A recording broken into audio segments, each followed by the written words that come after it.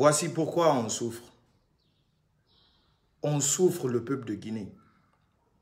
On souffre parce que si on ne souffrait pas, c'est-à-dire si on ne souffrait pas, si on ne souffrait, pas, on n'allait pas être un peuple inconscient de la sorte. Inconscient. Wallahi billahi tallahi. On n'allait pas être un peuple inconscient comme on l'est aujourd'hui. Parce que eh, Dieu est en colère contre nous les Guinéens. Dieu est en colère. Il est en train de nous châtier depuis des dizaines d'années maintenant. Ça fait maintenant 11 ans qu'il est en train de nous châtier depuis le jour qu'il nous a apporté Alpha Condé. Comment cela?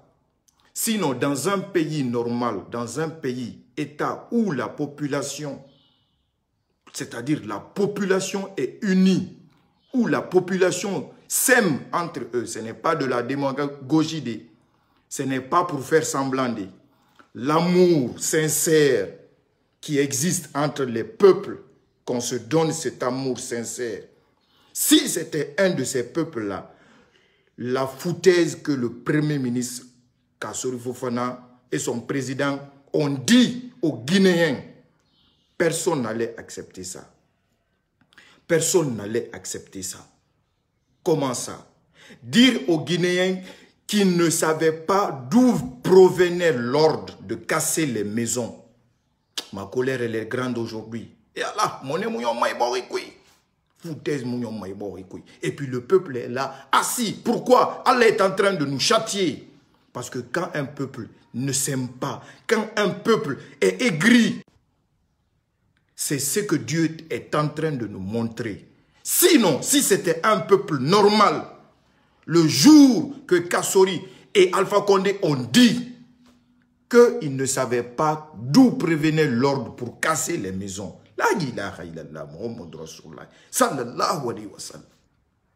Les gens qui sont à la tête du pays, même un truc d'aiguille qui sort à l'aéroport, ils sont au courant. Même un truc d'aiguille qui sort à l'aéroport, ils sont au courant. Maintenant, ceux-ci vont nous dire qu'ils n'étaient pas au courant.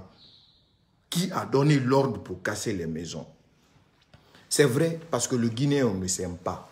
On fait semblant de, de nous aimer, mais on ne s'aime pas. On ne s'aime pas entre nous. Nous sommes hypocrites entre nous. On fait semblant. Et le combat que... Mais il y a des choses qui se passent en Guinée. On ne rencontre nulle part ailleurs si ce n'est pas en Guinée. Par exemple, en Guinée aujourd'hui, à Conakry, à Conakry, si tu sors pour chercher maison, maison, pour chercher maison, si tu pars, la première des choses, on va te demander quoi? On va te demander tu es de quelle ethnie?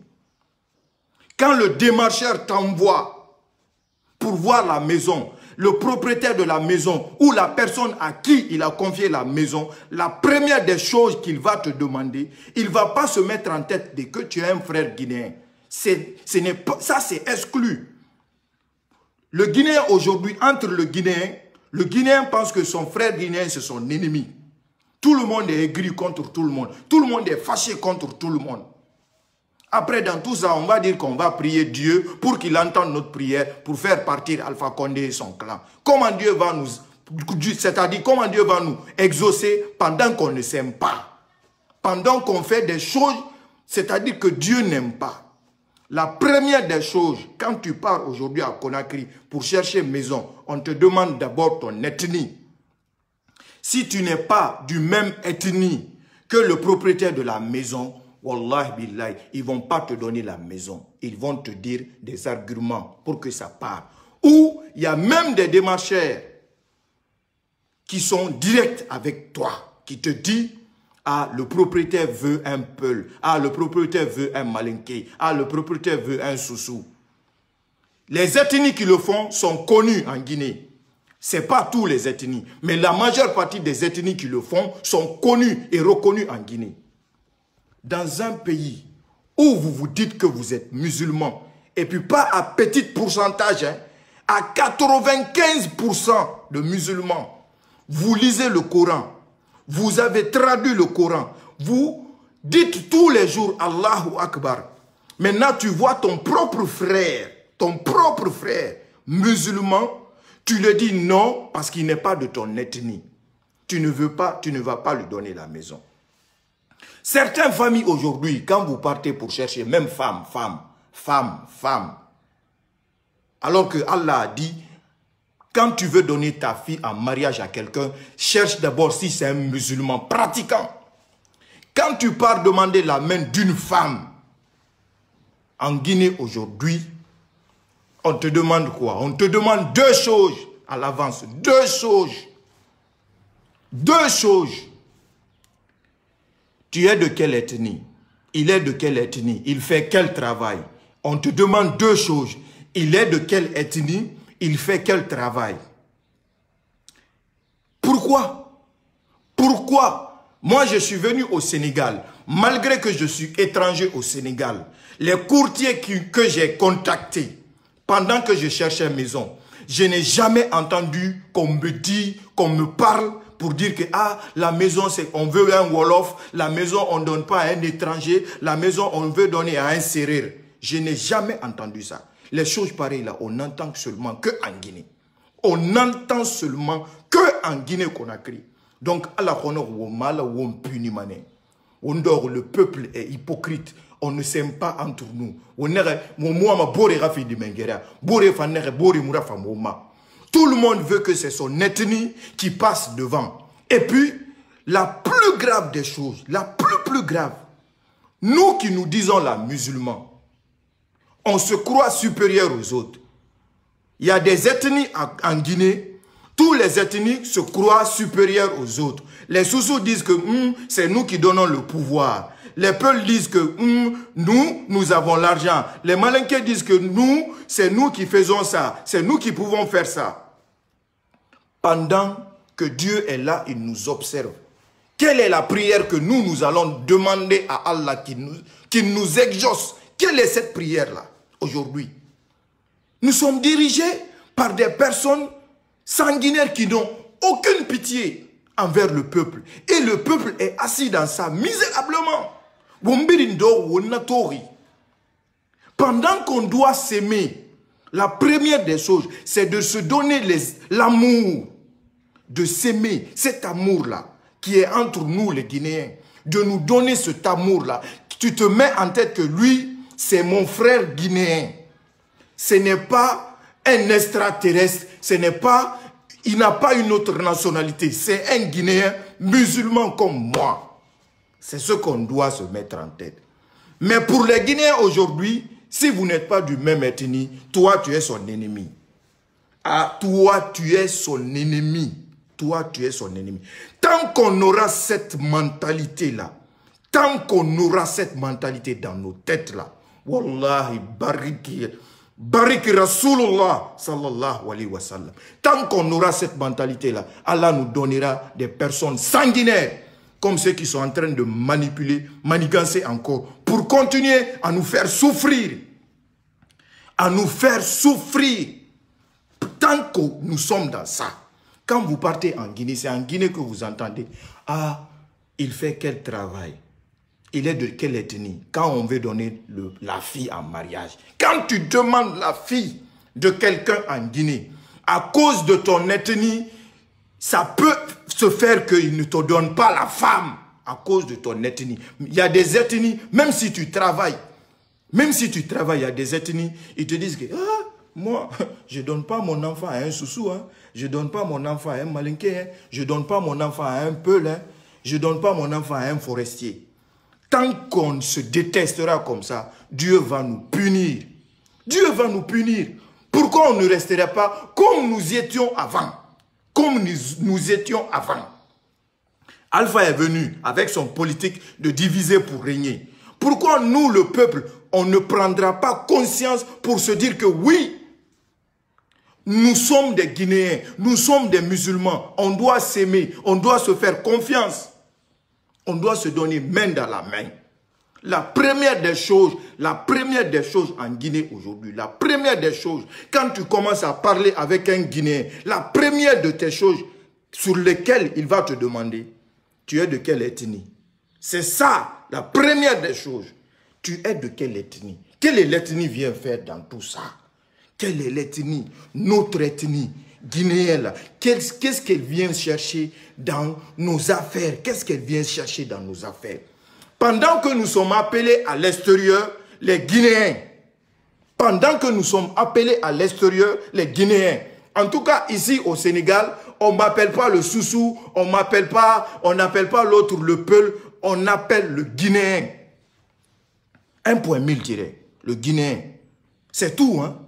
Maintenant, avec ces conneries pareilles, jusqu'à ce que on nous sort des conneries pareilles pour nous dire que qu'ils n'étaient pas au courant, qu'ils ne savaient pas d'où prévenait l'ordre pour casser les maisons de nos pauvres mamans, pour casser les maisons de nos pauvres parents qui vont dormir bientôt, qui sont en train de dormir même à la belle étoile, bientôt le ramadan. Comment ils vont nourrir leur famille? Bientôt le ramadan.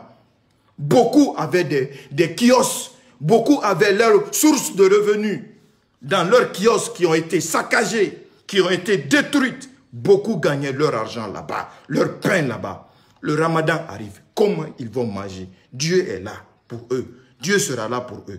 Mais, Guinéens, tant qu'on ne change pas nos mentalités, si on ne change pas nos mentalités, qu'on se dise que nous sommes des Guinéens, qu'on se dise que oui, il faut qu'on se lève ensemble pour notre pays. Tant qu'on c'est-à-dire tant qu'on n'aura pas l'amour de notre mère, la seule mère que nous avons tous, qui est la Guinée, qu'on arrête de, de faire la haine, de diviser, c'est-à-dire de nous diviser, de continuer à diviser les Guinéens.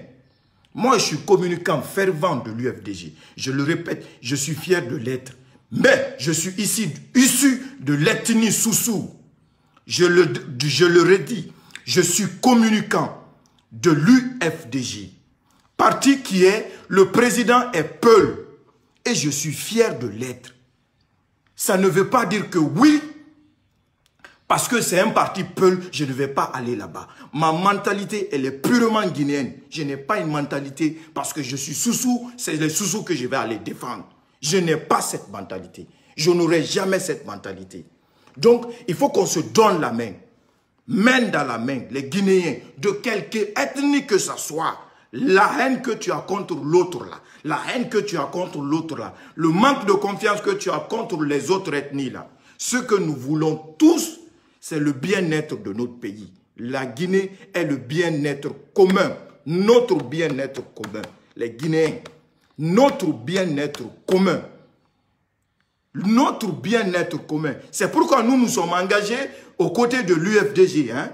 C'est pour dire que oui, et là c'est Loudalin, il connaît le système, il peut mettre fin au système. C'est le but de notre engagement. En tout cas, moi, c'est mon but, c'est le but de mon engagement. Il connaît le système, il peut mettre fin au système. C'est dans ça, dans cette optique que nous devons avancer. Ce n'est pas en continuant à se diviser, ce n'est pas en continuant à se lancer des haines tous les jours sur les réseaux sociaux, dans les rues. Et, voilà. Et puis des personnes qui sont parties à la Mecque, la majeure partie des gens qui ont construit des maisons en Guinée, la majeure partie des gens qui ont leurs enfants à donner en mariage, ils sont tous partis à la Mecque. Ils sont tous partis à la Mecque. Et puis quand tu pars chercher maison chez eux là-bas, ils te demandent tu es de quelle ethnie? Au lieu qu'ils te demandent est-ce que tu es un musulman, tu pries. Est-ce que tu es un musulman, tu pries. Ils ne te demandent pas ça. Ils te demandent ton ethnie. Si tu n'es pas de son ethnie, il te donnera pas la maison. Oui, nous sommes comme ça, Guinéens. Et puis dans tout ça, on va dire que oui, Allah va nous aider. Pour que Allah nous aide, on va faire partir Alpha Condé. Tant qu'on aura des esprits des idées que le Peul est supérieur à Soussou, que le Soussou est supérieur au Peul, que le Malinké est supérieur au Peul, que l'autre, l'autre, l'autre, ainsi de suite. Allah continuera à nous faire souffrir. Prenez l'exemple ici, sur le Sénégal. Les enfants sont sortis dans les rues pour manifester leur colère. Et le président les a entendus. Le président les a écoutés. Il a fait ce que le peuple voulait. Nous, Tant quand d'autres côtés veulent se battre pour instaurer pour le pays, l'autre côté se dit, ah, nous, en Aïtagui, ce n'est pas notre affaire, en Aotagui. Des hypocrisies pareilles. Des hypocrisies pareilles. Des hypocrisies pareilles. Oui, Aujourd'hui, si nous voyons que nous sommes en train de souffrir, si nous voyons qu'on nous prend comme des moutons, parce que la, la foutaise qu'on donne aux Guinéens aujourd'hui, la, la foutaise qu'on donne au peuple de Guinée aujourd'hui avec ce régime, aucun peuple africain n'acceptera d'être aussi, aussi ridiculisé par ses gouvernants comme ça. Aucun peuple africain ne l'acceptera. Aucun peuple africain. Wallah aucun peuple africain ne l'acceptera. Mais Dieu est en colère contre nous. On ne prie pas. On ne prie même pas bien. On se dit musulman. Mais on, ne croit pas en Dieu. Hein. On prie, mais on ne croit à rien. On prie seulement pour que les gens nous disent que, ah, je l'ai vu, il prie. Je le vois, il part à la mosquée. Mais dans nos cœurs, là, ce qui est là, au fond de nous, ce n'est pas la réalité. C'est juste faire semblant. Juste faire semblant. Même nos grands imams qui sont là aujourd'hui. Nos forces religieuses sont assis pendant que le peuple est en train de se faire marginaliser, pendant que le peuple est en train de se faire massacrer.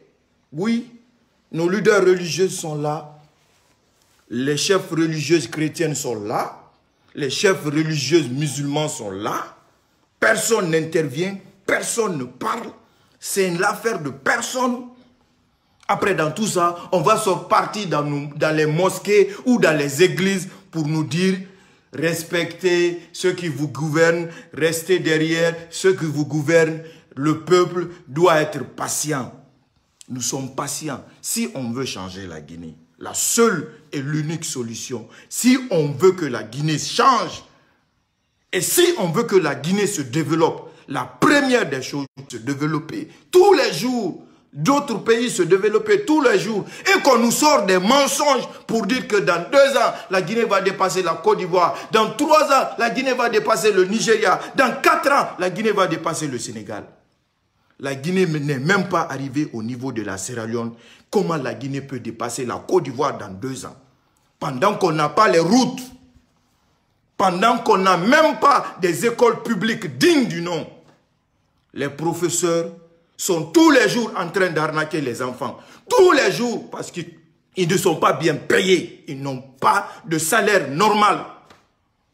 Tous les jours, quand les enfants partent à l'école, on demande aux élèves, envoyez 10 000 francs, envoyez 20 000 francs. Tous les jours. Tous les jours.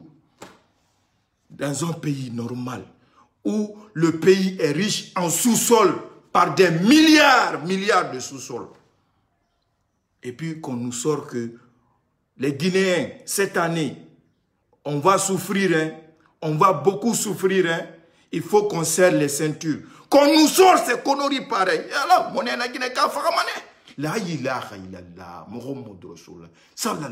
Wa sallam. Qu'on nous sort des conneries pareilles. Guinéens, cette année-là, on va encore souffrir. Hein?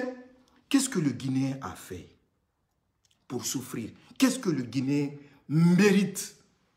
Parce qu'on ne s'aime pas. Tous les ethnies se détestent. Tout le monde se déteste.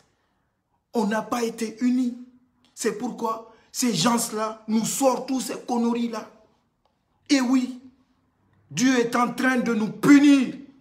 Et nous serons toujours là en train de subir cette punition tant qu'on ne change pas cette mentalité-là dans nos têtes. Tant qu'on ne le change pas on sera toujours là en train de souffrir. Je le dis à qui veut l'entendre. À qui veut l'entendre À qui veut l'entendre Je n'exclus aucune ethnie en Guinée. De Soussou jusqu'à Zor. Nous sommes tous coupables dans la souffrance que nous sommes en train de subir aujourd'hui. Il faut qu'on s'aime. Il faut qu'on s'aime. C'est ça d'abord.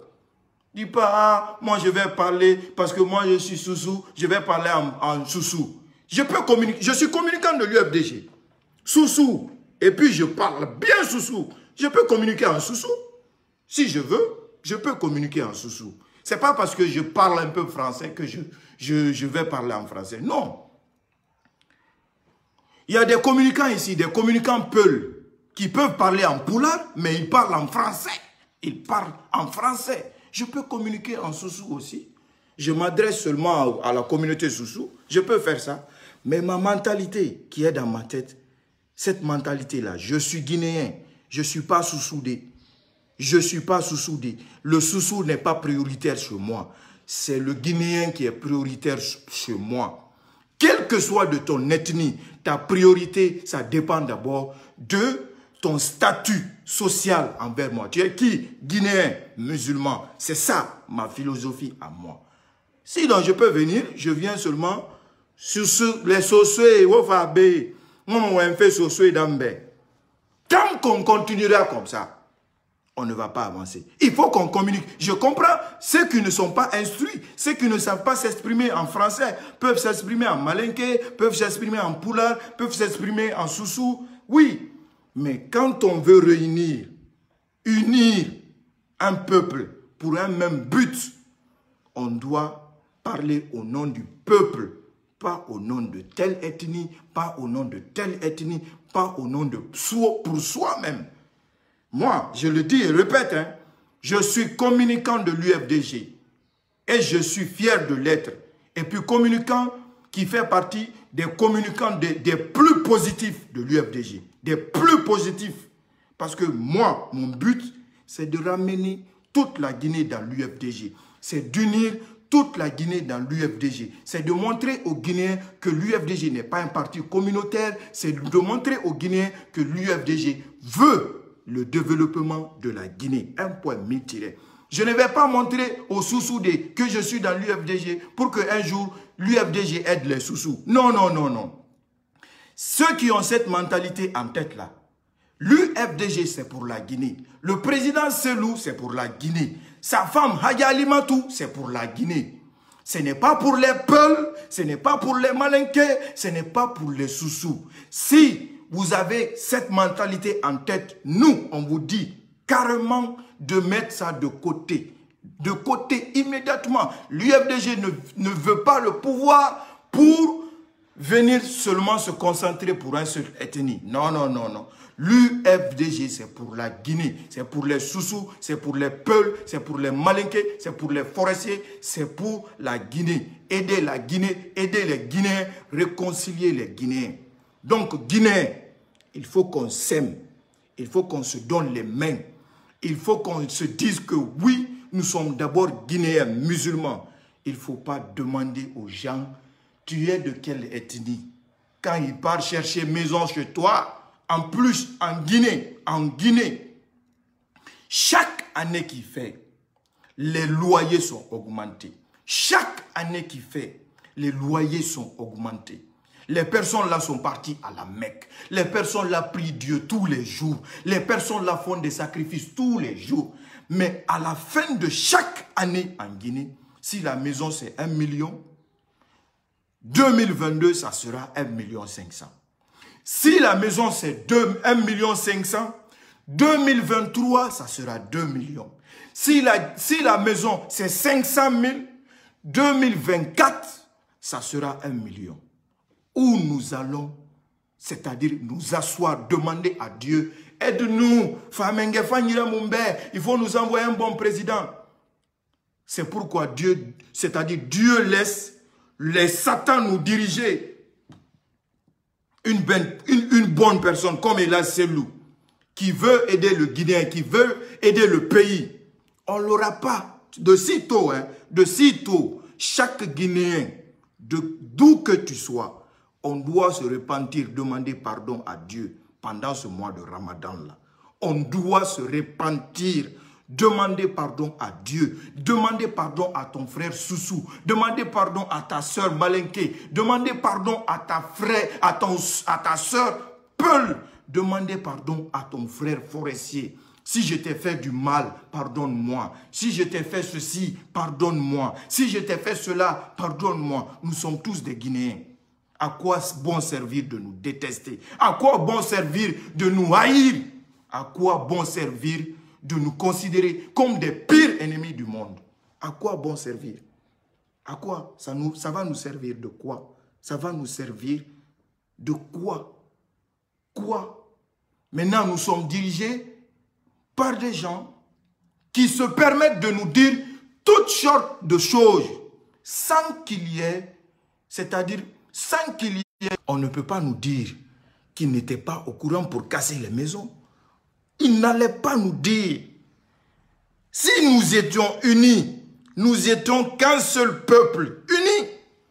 Si le jour que le Premier ministre a fait son discours là, quand il a voulu prononcer le mot là, il allait se reculer, il allait reculer. Il allait dire, il ne faut pas que je dise ça. Hein.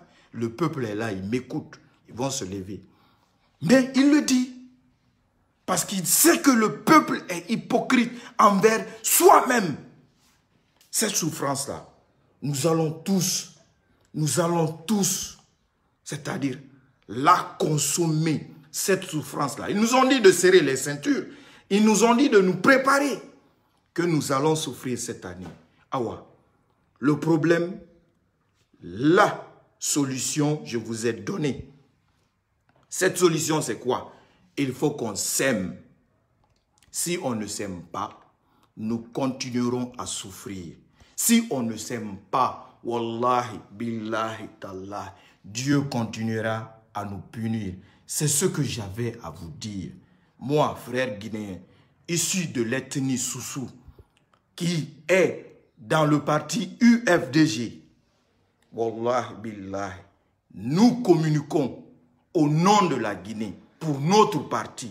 Nous ne communiquerons jamais au nom d'une ethnie ou au nom d'une personne. Jamais de la vie. C'était ça. Qu'Allah nous aide, qu'Allah purifie nos cerveaux, qu'Allah purifie nos pensées, qu'Allah purifie nos réflexions, qu'Allah nous aide à voir clair la réalité en face, qu'on accepte la réalité en face, que nous sommes condamnés à vivre ensemble, que nous sommes condamnés à être ensemble. Nous sommes Guinéens et rien ni personne ne peut changer cela. Même dans ta tombe, les gens savent que tu étais de la nationalité guinéenne. Personne ne pourra changer ça. Même si tu deviens l'ethnie la plus riche, même si tu deviens l'ethnie la plus influente en Guinée, tu es guinéen. Tu n'es pas supérieur au Peul, tu n'es pas supérieur au Malinké, tu n'es pas supérieur au Soussou, ni aux forestiers, ni aux autres. Oui, beaucoup de ces gens-là qui lisent le Coran tous les jours. Ah, nous, on dépasse les sous Ah, nous, on dépasse les peuls. Ah, nous, on dépasse les malinqués. Ah, nous, on dépasse les forestiers. Tant qu'on aura cette mentalité, nous allons continuer à souffrir. Wallahi billahi. Merci à tous. Barakallahu fikum. Je dis et le redis que tout Guinéen doivent se repentir, demander pardon à Allah et de prier pour notre pays pour que d'ici la fin de Ramadan, qu'Allah nous sort ces tyrans de notre pays. Qu'Allah nous sort ces tyrans de notre pays. Il faut qu'on prie avec le cœur. Il ne faut pas prier avec le corps. Ne prions pas avec le corps. Ne prions pas avec le corps, la forme. Tu viens, tu t'arrêtes. Wallahu Akbar. Il faut qu'on prie avec le cœur. Et qu'on sait réellement qu'on parle à Dieu. Qu'on est sincère envers Dieu. Cette même sincérité-là, il faut qu'on l'a entre nous les Guinéens. Tant qu'on ne l'aura pas, Wallah on va souffrir. Oui, beaucoup de mariages sont gâtés aujourd'hui. Beaucoup de, des enfants qui sont amoureux entre eux, quand ils partent demander la main de leur copine pour les épouser, parce qu'il n'est pas du même ethnie que la fille, on refuse de lui donner la fille. Beaucoup. Comment un pays comme ça, comment un pays comme ça, Yallah, Adjawajal peut vous donner la paix du cœur. Il ne, il ne vous donnera jamais. Dans un pays où l'islam est mis au second plan, dans un pays où l'islam est mis au second plan, quand tu viens déjà, c'est ton statut social qu'il regarde. Ton statut, c'est réalité, qu'on comprenne la vraie réalité. Le but, ce n'est pas de diviser les Guinéens. Le but, ce n'est pas de défendre son ethnie. Le but, c'est d'unir et faire le combat pour la Guinée. Le but, c'est ça. Ça doit être ça. Un point mille tiré.